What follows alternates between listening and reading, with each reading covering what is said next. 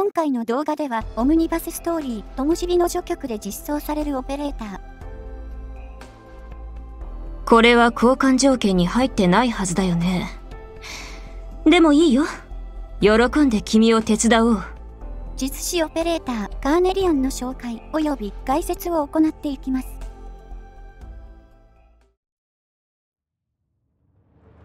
こんにちは。君がドクターだよね。私はカーネリアン。ホーエンローエ伯爵の護衛を、ああ、ロドスではただの一般オペレーターだからね。うちの妹に余計なことを言わないように頼むよ。いいね。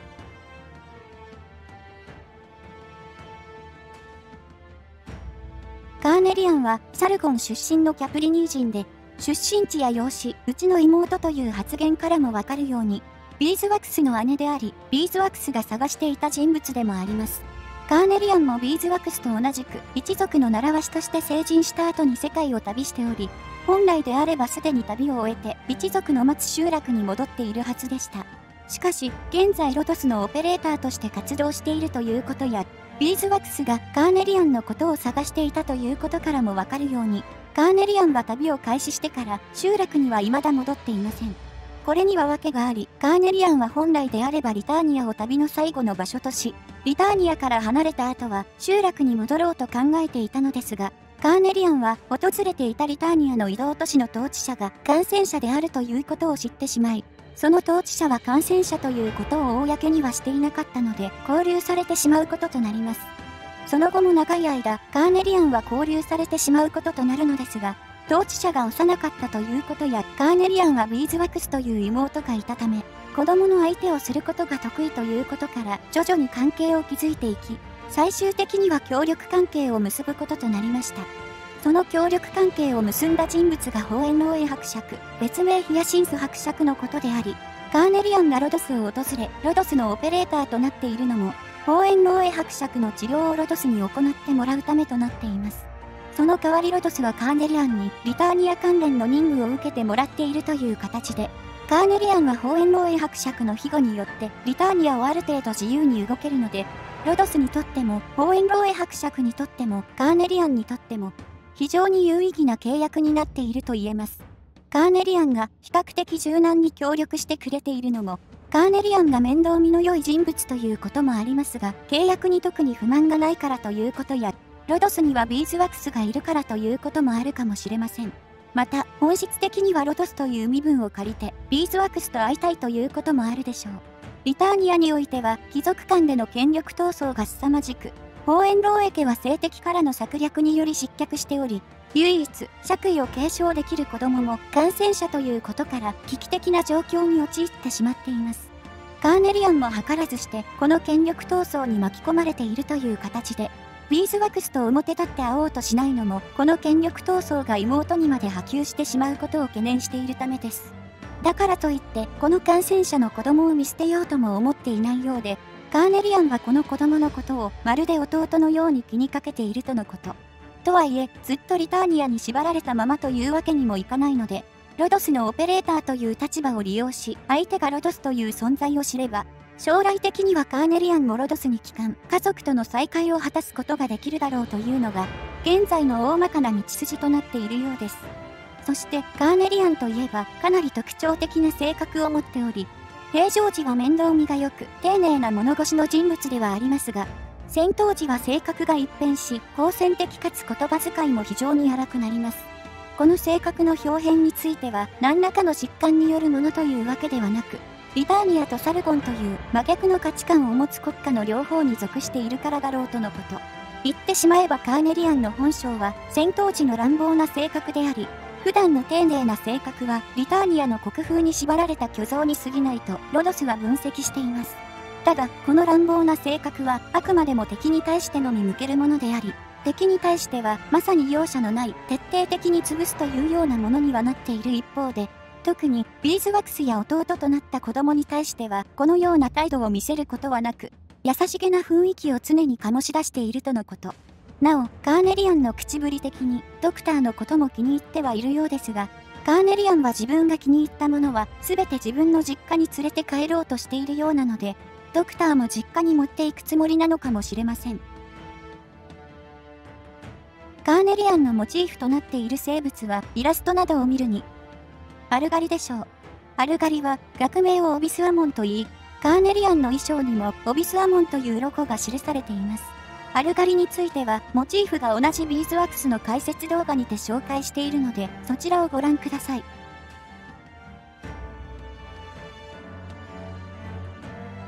私はね、大事な人や抱えるものがどんどん増えていってるから、もう長いこと何も気にせずに好きに動いたことがないんだ。君がいいって言うなら、そうだね。一緒に思いっきり暴れようか。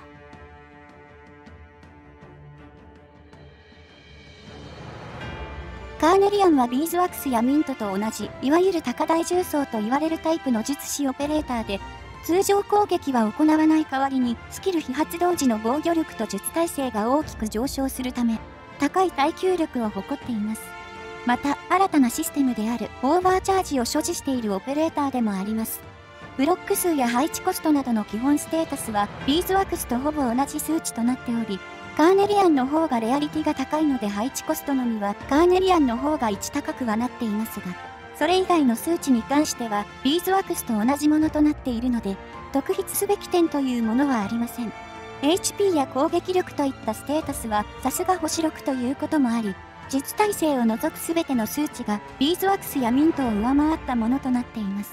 特に攻撃力が非常に高く、ビーズワックスと比べても120程度の差があり、実施の中でもカーネリアン実装時点では C に次ぐ4番目の攻撃力の高さとなっています。それ以外の数値も HP はトミミに次いで術師に、防御力に至っては術師トップの数値となっているので、ステータスという点で言えばかなりハイスペックな性能と言えるでしょう。素質、命の3は、スキル発動時、HP を一定数回復し、そのスキル発動がオーバーチャージの状態での発動なのであれば、回復量が2倍となる素質。なので、オーバーチャージ時にスキルを発動した場合、最大で HP は90%回復することになります。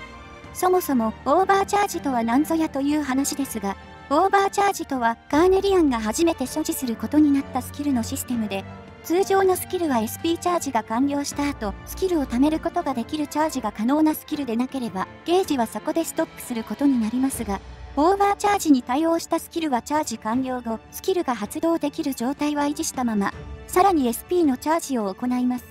SP のチャージが完了すると、スキル発動可能アイコンは赤くなり、オーバーチャージが完了し、この状態でスキルを発動すると、通常時よりもより強力なスキルを発動させることができます。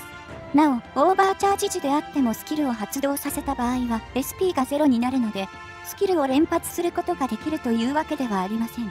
例を挙げるなら例えば SP30 でスキルを発動できるオーバーチャージスキルがあるのであれば SP が30溜まった時点でいつでもスキルを発動させることができそこからさらに SP を30貯めることでそのスキルの完全な力を解放することができるという2段階形式のスキルとイメージしてもらえればいいかもしれません。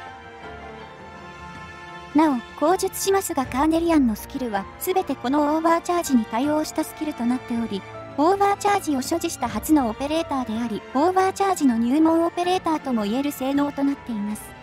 素質に、万全オーキスは SP が上限を超えた時、つまりオーバーチャージを開始した時の SP 回復量が、毎秒プラス0.6されるという至ってシンプルな素質。ですが、この素質の最大の特徴は、他の SP ブースト系とは異なり、フィリオプシスやモスティマの SP ブーストと効果が重複します。つまり、ステージにもスティマが配置されているのであれば、オーバーチャージ時の SP 回復量は、毎秒2.2という凄まじい速度になるというわけです。この素質効果によって、カーネリアンのスキルが非常に扱いやすくなっており、シンプルながら森にかない、非常に強力な素質になっていると言えます。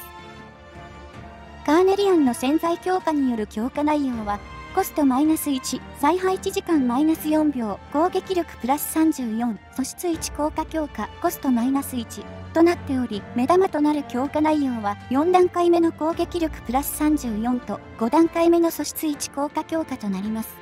4段階目の攻撃力プラス34は DPS 換算で言えばおよそ4%程度の上昇率となっており、特に攻撃を命中させるたびに与えるダメージがどんどん増加していくスキル3ではかなりの恩恵を受けることができます。また、潜在5段階目の素質1効果強化に関しても、オーバーチャージ時にスキルを発動した際、回復量が潜在なしの80%から90%に増加し、回復量が最大で211も増加するので、潜在強化を目指すのであれば、潜在5段階目を目標にするといいでしょう。スキル1、砂嵐の守衛は、スキル発動中、自身の攻撃力と防御力を上昇させ、オーバーチャージ時に発動させた場合は、さらに特性効果をスキル発動中も継続させるというスキル。通常発動では何の変哲もない攻撃力と防御力を上昇させるスキルとなっている一方で、オーバーチャージ発動時はスキル発動中でも防御力や術耐性が本来の数値に戻らないため、カーネリアンやビーズワックスなどの弱点である、スキル発動中に敵に狙われてしまっている際の耐久力の問題を完全に克服したスキルとなっています。むしろ、スキル発動中はさらに防御力が増加するので、他の公式切り替え型とは異なり、スキル発動中はさらに硬くなってしまうというのが、このスキルの特徴であり、最大の長所と言えるでしょう。攻撃面はさすがに凶悪な性能を持つということはありませんが、だからといって全く使えないというものでもなく、全範囲攻撃ということも合わさって大量の敵を処理することを得意としています。スキル1の火力と他のオペレーターの火力を比較した表が上記の通りとなっており、スキルによる攻撃力の上昇自体はビーズワックスのスキル1と全く同じものとなっているので、基本的な火力はビーズワックスのスキル1にほぼ準拠したものとなっており、カーネリアンの方がやや火力が高くなっているのは、カーネリアンの元々の攻撃力がビーズワックスよりも高いためです。そのため、団体への火力という点で言えば、カーネリアンの方がやや上回ってはいますが、スキル発動時の攻撃範囲はビーズワックスの方が大きくなっているので、敵を攻撃に巻き込むという点で言えば、ビーズワックスの方が上手となっています。そのため、全体的な性能で言えば、ビーズワックスの方がやや攻撃によった性能となっており、一方でカーネリアンは攻撃範囲が拡大することはないものの、防御力が上昇する上に、オーバーチャージ時であれば特性効果が失われないので、バランスの良い性能になっていると言えます。オーバーチャージ発動時のカーネリアンのステータスと他のオペレーターのステータスを比較した表が上記の通りとなっており、上記の表からもわかるように、オーバーチャージ発動時のカーネリアンの防御力は955という、波の重損以上の防御力となっており、特化3にした場合は、防御力は1032に到達するという、星熊がスキル2をセットしている時の防御力とほぼ変わらない数値となります。ここまでの防御力となると、高台オペレーターの天敵である強化規制豚骨兵の攻撃はものともせず、パトリオットの闘争すらも余裕を持って耐えるようになります。現状、物理攻撃でスキル発動中のカーネリアンを一撃で落とせる敵キャラはいないと言っても過言ではありません。スキル1は火力面に関しては9大点ではあるものの、強力なスキルとは言えませんが、一方で耐久面は高台どころか重装と張り合えるほどの硬さとなっており攻守切り替え型の役目である高台デコイを完璧にこなしてくれるスキルとなっています。以上のことや特化に必要な素材特化時の上昇率などを鑑みてスキルレベルは7または高台デコイの役目を完璧にこなしてもらうのであれば特化3にすることをお勧めします。キル2、砂漠の足かせは、スキル発動時、攻撃間隔が短縮し、攻撃を命中させた相手に一定時間の足止め効果を付与。オーバーチャージ時はさらに攻撃力が上昇し、足止め効果がバインド効果に変化するというスキル。こちらもスキル1と同じくオーバーチャージすることで、スキルがより強力になり、オーバーチャージ時はスキルレベル7で1.2秒に1回攻撃し、0.4秒バインドを付与するスキルとなり、特化3まで強化をすれば0.9秒に1回攻撃をし0.6秒バインドを付与するという非常に強力なバインドスキルとなっています。バインドスキルは敵の移動は封じるものの敵の攻撃を封じることはできないためクラッシャーなどの敵を完封するということはできない一方でバインドを付与する間隔がここまで短いと敵はほぼ動くことができず前半位攻撃ということもあり追う鉄の峡谷にて出現するゴースト隊長たちであっても移動速度強化の契約を組み込んでいない限りは、スキル発動中は1から2マス程度動くのがやっとというレベルで、すり抜け系の敵はこのスキルでほぼ完封することができます。E さんやマンティコアといった敵の移動を封じることができるオペレーターと組み合わせれば、敵は全くその場から動けないという状況を作り出すこともできますし、カーネリアンと同時に実装されるキララやインディゴのような攻撃範囲内にいる敵に対して毎秒ダメージを与えるオペレーターと組み合わせれば、敵はダメージ範囲からなかなか抜け出すことができなくなるので、優秀なダメージソースとなってくれるでしょう。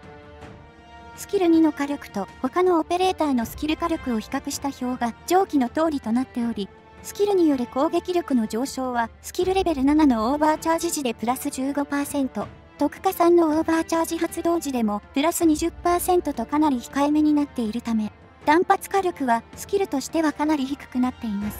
一方で攻撃間隔が最速だと通常時の半分以下という単体狙撃並みの速度となっているため、DPS という点で見ればスキル1を上回る数値となっていますし、発動時間もスキル1よりも長くなっているので、総ダメージもかなり高くなっています。というより、そもそもこのスキルはバインドが中心となっているスキルなので、最大効果を発揮するにはオーバーチャージをしなければいけないので、一般的なスキルよりかは発動間隔は長くなってしまいますが、バインドスキルでありながら、ここまでの火力を維持しているのはかなり優秀です。スキルにはオーバーチャージすることで、効果が足止めからバインドに変化するだけでなく、敵を拘束する時間も最大で通常発動時の2倍に増加するため、通常発動とオーバーチャージ発動時ではスキル性能に大きな差があるので、オーバーチャージはほぼ必須となっています。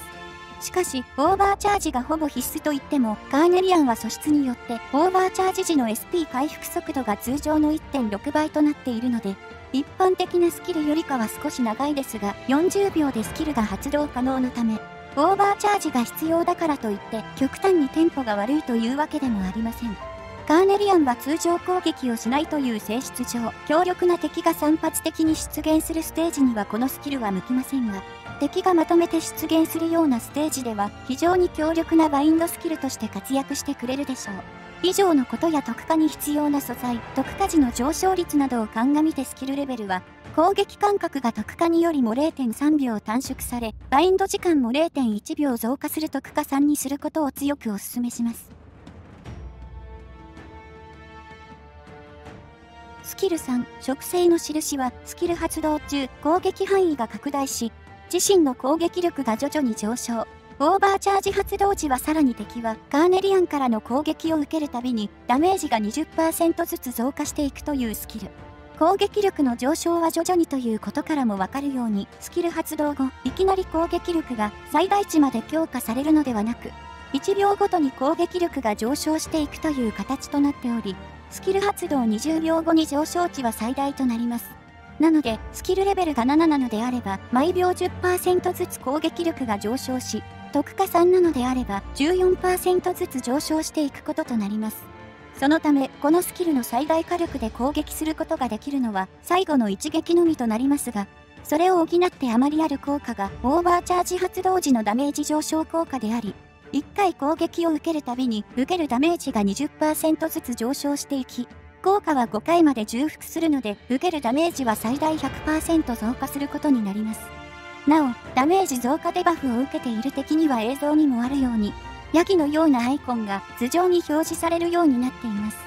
そして、肝心の火力についてですが、攻撃力が徐々に上昇していくということや、ダメージを与えないとダメージ上昇デバフを敵に付与できないため、初動のダメージはスキルとしてはかなり低めとなっており、通常の攻撃力とほとんどダメージは変わりません。しかし、ダメージ上昇デバフが5回重複した状態での最後の攻撃は、特化3であれば一発7296ダメージという凄まじい威力となっており、このダメージを攻撃範囲全てにばらまくため、よほど術耐性が高くなければほとんどの敵は耐えることができません。というより5回デバフが重複するよりも前に、ほとんどの敵は2から3回程度で倒れてしまうでしょう。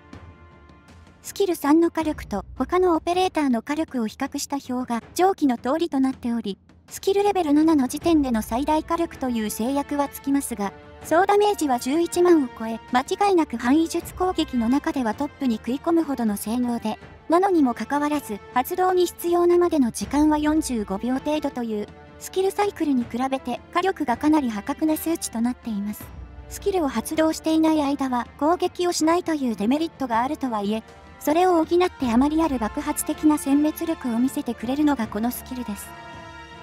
ちなみに、エイヤフィアトラのスキル3は、同時に6体までしか攻撃することはできない一方で、このスキルは攻撃範囲内全ての敵を攻撃するため、10体でも20体でも同時に攻撃することができます。この点を踏まえて、敵7体を同時に相手にした際のスキル3の火力が上記の表の通りで、相変わらず DPS はエイヤフィアトラが圧倒的ですが、総ダメージはカーネリアンの方が1万ほど高くなっています。それに加えて平均 DPS もスキル発動間隔が短いため通常攻撃をしないカーネリアンの方が高くなっており平均 DPS がカーネリアンの方が高いという状態は敵が6体であっても変わることはないため戦闘においての総ダメージはエイヤフィアトラを上回る数値となっていますちなみに6体同時の場合のスキル総ダメージは相変わらずエイヤフィヤトラの方が高くなっているのでスキル発動だけでお手軽に広範囲で高火力を出せるという点では、未だにエイヤフィヤトラがトップという点は変わっていません。スキル3は徐々に攻撃力が上昇するといったスロースターターなスキルではあるものの、スキル終盤においての爆発力は凄まじく、スキルさえ発動できれば、ほとんどの敵を一掃することができます。加えて、オーバーチャージ発動に必要な時間も SP ブーストなしで45.5秒というスキル火力と比べるとかなり低めとなっているので、他の高威力スキルと比べると比較的連発することができるスキルでもあります。以上のことや特化に必要な素材、特化時の上昇率などを鑑みてスキルレベルは7または特化3まで上げ切ることをお勧めします。カーネリアンの基地スキルは訓練書に関するもの一つとなっており、昇進2にすることで術師としては初の訓練速度プラス60%スキルを獲得します。術師はカーネリアン実装時点で特化1はトミミ、特化2はミントを使用することで、訓練速度を大きく上昇させることができますが、特化さんに対応したオペレーターは現時点ではいません。そのため、実施の特化さんの訓練速度を速めたい場合や、実施の特化のために複数のオペレーターを昇進させたくない場合は、カーネリアンを基地スキル目的で昇進させるのもいいでしょう。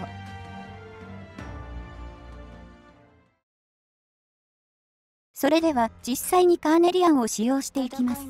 今回使用するステージは H7 の1。カーネリアンのステータスは昇進2のレベル80、スキル3のスキルレベルは7となります。今日もよろしくね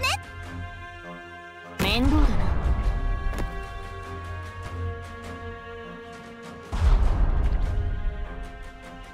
どけ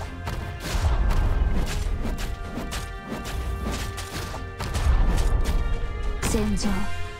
本気で行くよ。よくだよ戦場に出たからね。スキルが発動していない間は他の公式切り替え型と同じく攻撃をすることはなくカーネリアンがシールドに守られているようなエフェクトが表示されます。ただ一瞬です。どけ。連綿たる山々となみんなこっち来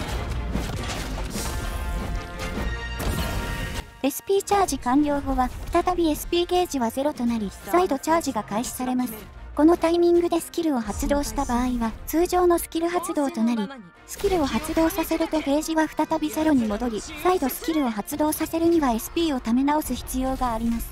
なので、オーバーチャージ中の SP 回復は完全に SP を貯めない限りは無駄になってしまうというわけです。私がお守りします。苦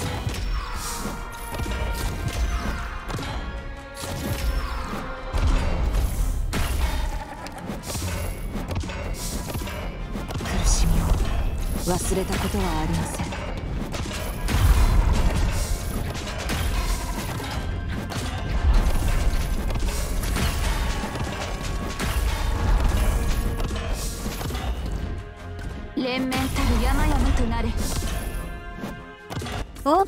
完了後はスキルアイコンが赤く染まりカーネリアンの場合はシールドのエフェクトがより派手なものとなります。連綿たる山々となれ。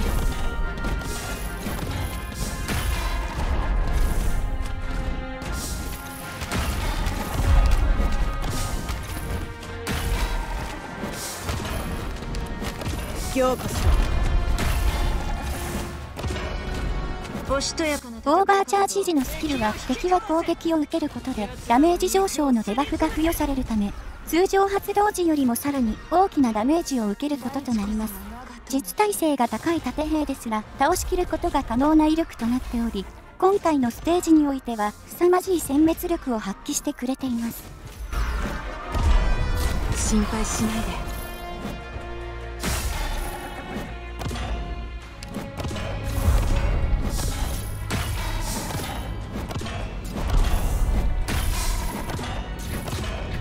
私の声に応えろ仰せのままに気をつけなよ。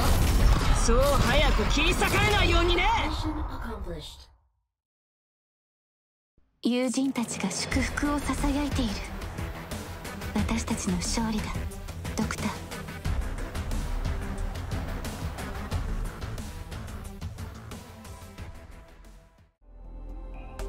カーネリアンは SP を2回チャージすることで通常よりも強力なスキルを放つことができる。新たなシステムを所持しているオペレーターで雑魚敵相手には通常発動を強力な敵や大量の敵を一度に相手したいという場合にはオーバーチャージを行うという臨機応変なスキル運用が可能となっています。攻守切り替え型という癖の強さは変わらない一方でスキル1は攻守切り替え型の弱点を完全に克服。スキル2は強力なバインドそしてスキル3は非常に強力な広範囲殲滅と様々な場面での運用が可能となっています。通常時は攻撃しないという点を考えてもあまりある性能を所持しているのがカーネリアンと言えるでしょう。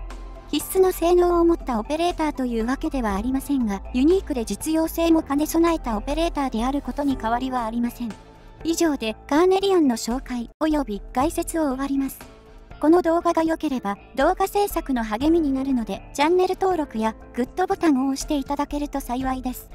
ご視聴ありがとうございました。